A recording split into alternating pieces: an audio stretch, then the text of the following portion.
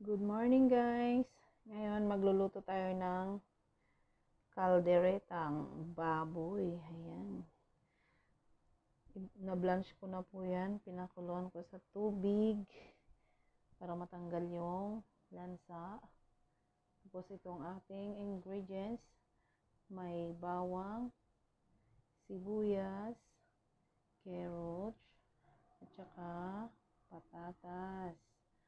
hindi nawawalang ating Del Monte Fresca sliced pineapple.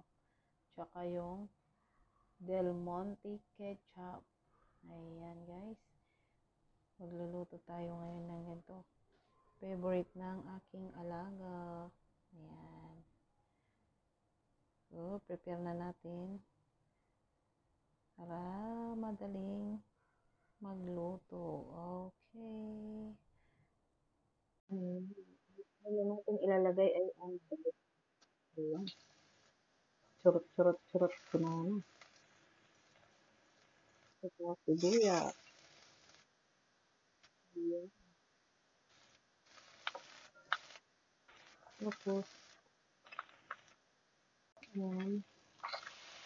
Ibisa natin ang karne. Bago lagyan ng tubig. Ayan.